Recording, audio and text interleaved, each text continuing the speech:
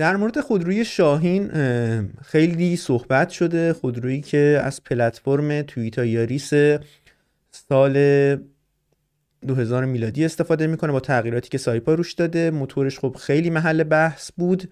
و در نهایت موتور تیبا رو گذاشتن با توربو روی این خودرو که 8 سوپاپ قدرت زیادی رو نمیده. خیلی انتقادها رو این ماشین زیاده. چندین بار آتیش گرفته و سایپا تا الان تعداد زیادی فراخان داده برای این خودرو روی فراخان ها و مشکلاتی که تا حالا این خودرو داشته امیر حسین اسماعیل بیگی گزارش رو تهیه کرده که میریم ببینیم جریانش چیه. امیر حسین به من یه توضیحی بده که جریان این فراخانهای شاهین سایپا چیه و چرا اصلا این خودرو نیومده این همه فراخان داره؟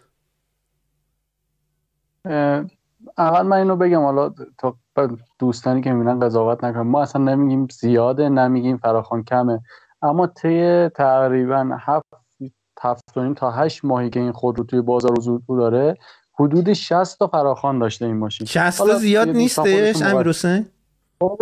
مقایسه کنم با بقیه خود رو ببینن زیاده یا کمه. من اصلا در این مورد هیچ صحبت نمی‌کنم. اما بیچاره امیر حسین کلا میترسه انقدر که دوستان سایپا اذیتش کردن. میترسه بگه این 60 تا زیاده یا کمه. حالا مخاطب خودشون نگاه کنن ببینن کمتر از یک سالی اومد... یک سالی که این ماشین اومده تو بازار 60 تا فراخان زیاده یا کمه. چون ما هر گزارشی رو که از این ماشین میریم انقدر دوستان سایپا اذیتمون می‌کنن و انقدر باید انواع اقسام اتهام و جواب بدیم که حد و مرز نداره. میگم برای ما هیچ کدوم از این شرکت خودروسازی فرقی نمی‌کنه ولی وقتی یه خودروی بیشتر فراخوان میاد راجبش و شکایت بیشتر میشه ما مجبوریم بیشتر در موردش صحبت کنیم. خب امیر حسین بگو ببینم فراخوان چی بوده حالا؟ من توی گروه به خصوص شاین سوارا که میگشتم نگاه می‌کردم خیلیشون به مسخره می‌گفتن از هفت روز هفته من سه تا چهار روزشون نمایندگی سایپا هستم و واقعا هم اکثرشون این شکلی یعنی اتفاقی که مدام درگیرم با نمایندگی.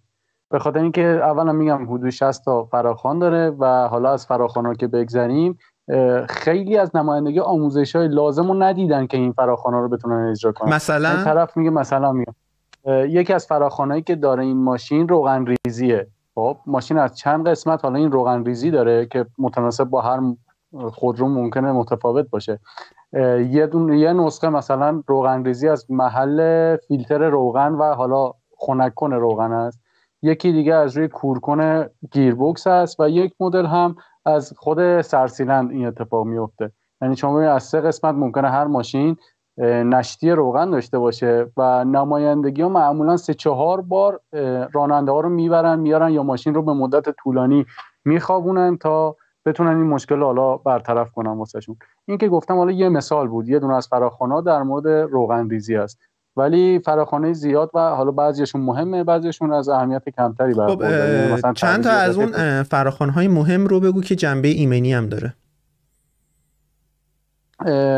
به نظر من حالا یکی از مهمترین فراخوانهایی که دادن در مورد انژکتورها است. در بعضی مدل های این خودرو از اورینگ های واسه انژکتور استفاده شده که نمی‌ذاره انژکتور کامل جا بره و از اون جایی که باید باشه یه مقدار بیرون تر قرار می‌گیره و این باعث نشتی بنزین میشه خود این انژکتور.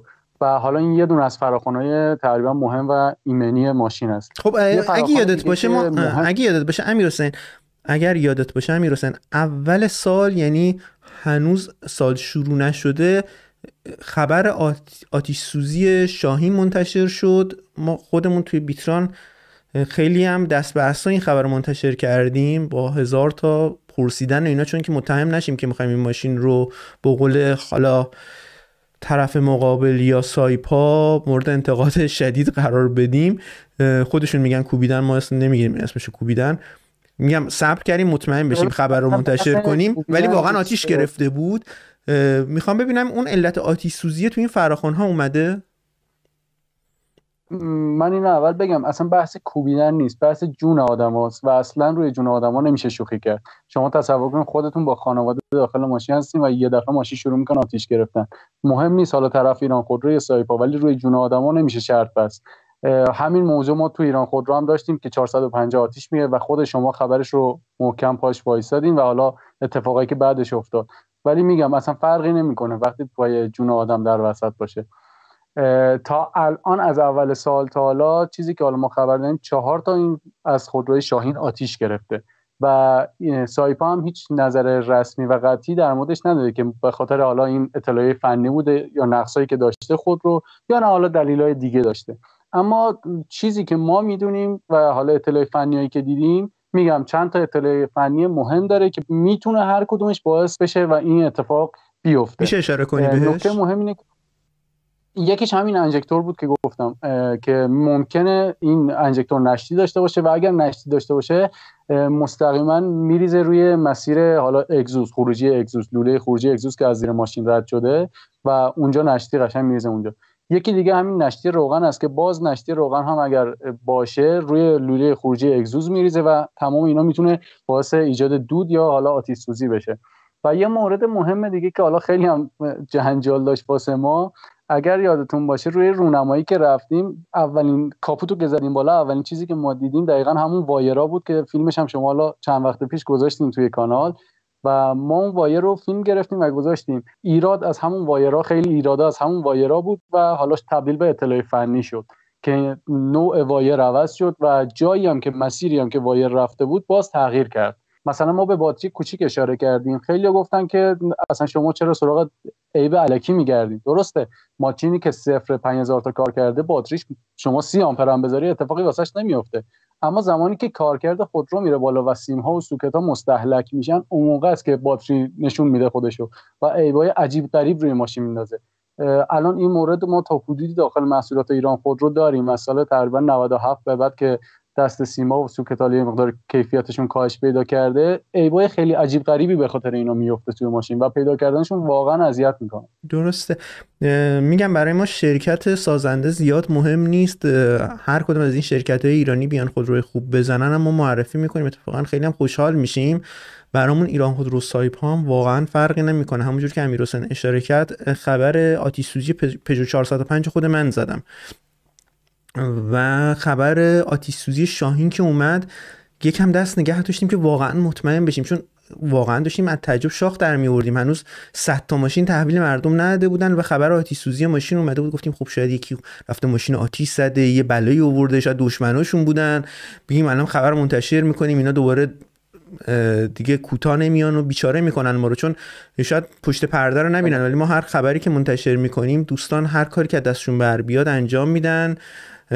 و به عنوان مثال خیلی ساده ترینش اینه که دیگه مثلا رونمایی خود رو که اتفاق میفته مثلا بیتران اسمش حذف می‌کنن به همین راحتی. یعنی این ساده اشه.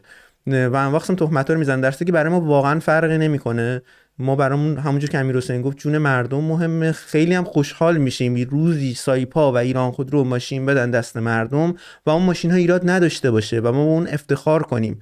اگر ماشین خوب باشه میگیم باز میگیم. در مورد این خودرو خودتون قضاوت کنید. 60 تا فراخان کمتر از یک سال آیا اصلا منطقی به نظر می‌رسه یا نه؟ خب امیر حسین چند تا دیگه فراخان ها رو بگو. فقط اشاره کنم قبلش. درسته شما الان تو خودروسازی بزرگم نگاه کنید بالاخره فراخوان مهم دارن یا خیلی به خصوص مثلا شما تو توییتا دیدین که میلیونی فراخوان میده و خودرو رو جمع می‌کنه در واقع.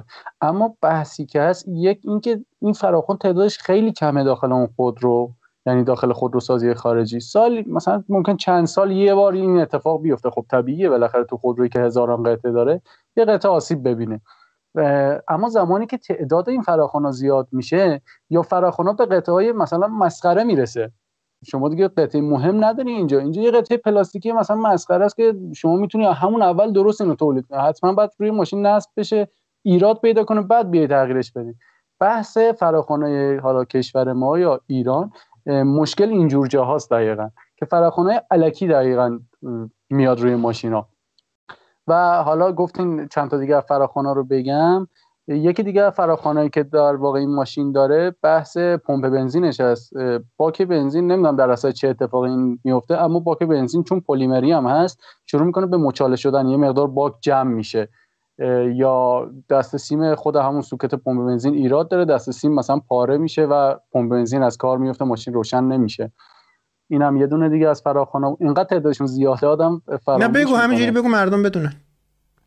خدا رو شکر حداقل اینا مستندات این فراخوانه وجود داره دیگه نمی‌تونن ما رو محکوم بله کنن. بله. مراجعه کنن به نماینده کسایی که حالا شاهین دارن می‌تونن مراجعه کنن و فراخوان رو ببینن حتی. یه دونه دیگه از ایرادایی که داره وایرایی که اومده خورده سر شمات دقیقا شم چون وایرا چون بالای اگزوز قرار میگه چدنی حالا پنجه اگزوز قرار می‌گیره وایرا در مرور زمان آب میشن ذوب میشن و حالا اتصال برقرار می‌کنن. به خاطر همین اومده یه فراخوان داده و یه قطعه بین این دوتا قرار داده که وایرا حالا حرارت نبینن و ذوب نشن. اینم یکی دیگه بود.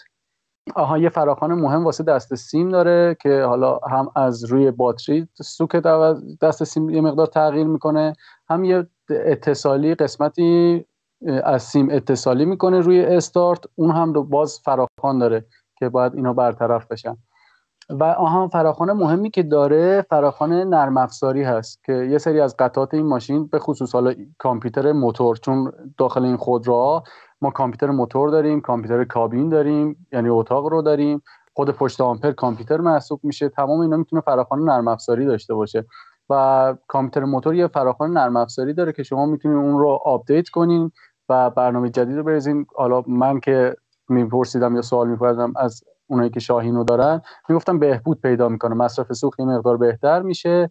یه مقداری هم حالا اون حالت ریپ زدن و استارت سرد بدی که داره تو صبحای سرد اونو تقریبا برطرف میشه تا حدود خب روی موتور چه فراخوانه هایی اومده؟ مخصوصا که این موتور یه موتور 8 سوپا توربو هست. روی موتور میگم بیشتر قطعات حالا اینجوری ریز هست چون معمولا کار کردن ماشین ها الان هنوز به اون حدی نرسیده که بگیم قطعات خود موتوری آسیب آنچنانی ببینن. الان فکر می‌کنم مثلا خیلی کار کرده باشه چیزایی که من میپرسیدم از حالا مشتری ها مثلا حدود 15 هزار ده هزار خیلی دیگه مثلا ماشین کامل 20 هزار تا کار کرده. 20 هزار تا در واقع به تعویض شم می‌رسه. خیلی عمر چیزی نیست که بگیم خیلی بالاه. ولی خود آها خود قطعه توربو هم چیز داره. فراخوان توربو هم وجود داره که آسیب دیده و باید تعویض بشه. برای این فراخوان وجود نداره اما من مراجعه کردم به یکی از نمایندگی ها. یه ماشین واسهش این اتفاق افتاده بود. خود دست موتور بریده بود توی تکون ها و شتابگیری هایی که داشت. موتور دست موتور پاره شده و موتور افتاده بود زمین در واقع. این حالا فراخان هنوز نمی‌دونم میدن واسش یا نمیدن اما این ایراد رو من دیدم داخل ماشین تو کارکرد پایینی هم این اتفاق واسش افتاده بود در.